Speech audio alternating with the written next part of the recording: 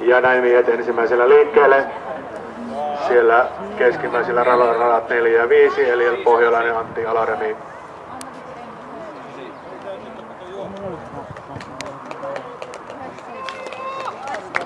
Ja näin komealla askeleella kohti maalilinjaa. Eliel Pohjolainen Kuopio reipas ylivoimaisen voittoon tässä miesten 200 metrin loppukilpailussa.